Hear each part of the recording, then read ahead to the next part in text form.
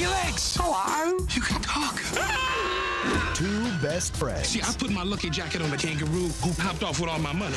We can find your money. There he goes! Are about to find out If you could give me back my money, Money? Stop that! they don't know Jack. You're a tough little guy, aren't you? Nice. I said the hip hop, the hippie, the hippie to the hip hip hop. Yeah, that's. Kangaroo Jack. Look for it on DVD and video.